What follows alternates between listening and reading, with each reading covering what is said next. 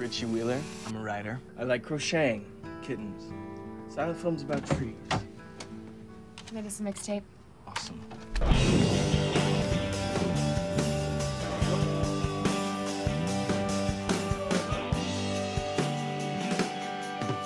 Skatelands is focused around our lead character who is being pushed out of his job. His family's falling apart. You're not the only stress and a busy schedule. You brought that on yourself. And even then, he's trying to hold on, to stay in East Texas, even though he's brilliant. I filled out a couple of applications for you. Do you have time to go over them? No. Not right now. You know, he's worked at Skateland for four years. He's 19. He loves it. It's been a huge part of his life. He kind of uses it as a crutch not to have to get too serious about going to college or getting a, a, a career job. Skateland's a metaphor for Richie's life. Times are coming to an end. You know, it's time to move on. I know you like this place, but you ain't gonna be sticking around here much longer. Skateland closing is one of the best things that's ever happened to you. Richie's grown up with this girl who's a neighbor. Michelle, she's one of his best friends. They talk about anything. He's probably more comfortable with her than he is with anybody else. Maybe it's time for a change. Yeah. They really, really care about each other. They grew up together and they know everything about each other. And he happens to be best friends with my brother as well. Brent, you're... Ah! Ah! Who's the king? Who's the king, Richie Rich? Ah! You are, okay? You're the king.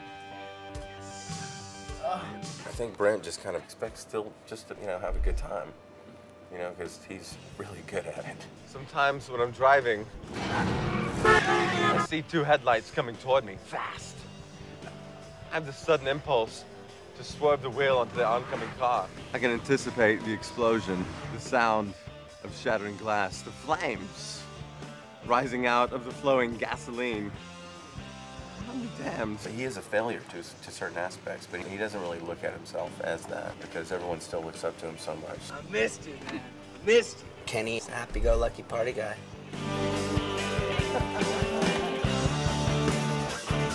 It's pretty easy to get in character when everything looks like 1983.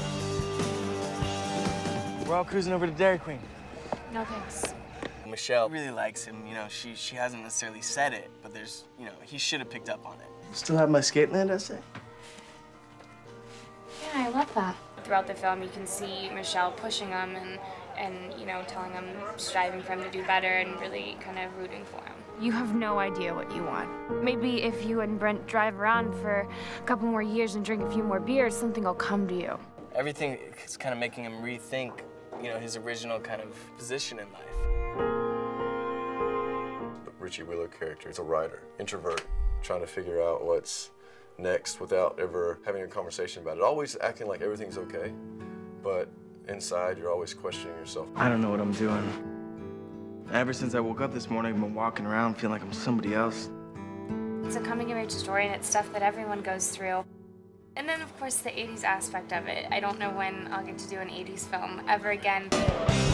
End of an era. Something like that. It's been a really fun thing to film. Hopefully, the younger audience will see an era that they've never seen before or didn't know what it was like. As far as the people that grew up during this time period, it's going to be very nostalgic.